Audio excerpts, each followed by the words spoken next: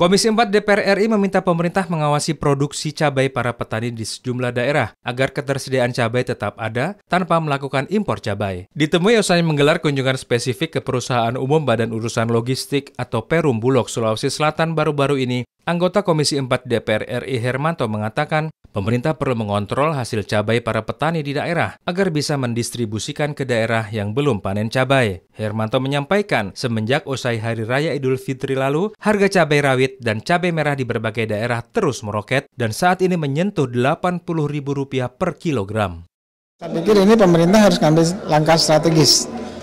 Artinya langkah strategis itu bagaimana pemerintah melakukan kontrol terhadap petani-petani cabai ini di daerah-daerah sentra-sentra cabai itu uh, diawasi seperti apa produksinya. Kemudian kalau dia misalnya menanam dengan baik dan produksinya melimpah dia harus serap Hermanto menjelaskan harga cabai di Pulau Jawa rentan terjadi kenaikan, mengingat pasokan untuk kota-kota besar masih mengandalkan dari beberapa sentra utama, seperti Banyuwangi, Blitar, Kediri, Temanggung, Magelang, dan Cianjur. Untuk itu, Kementerian Pertanian perlu melakukan upaya pengamanan pasokan cabai di tengah musim kemarau sehingga persoalan tersebut tidak menjadi alasan melakukan impor cabai.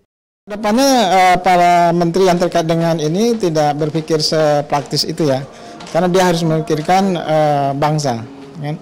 karena dia harus berpedoman pada undang-undang pangan yaitu kemandirian. Kemandirian pangan itu hakikatnya adalah kita mengkonsumsi apa yang kita produksi. Dari Sulawesi Selatan, Habibi Mahaba, TVR Parlemen melaporkan.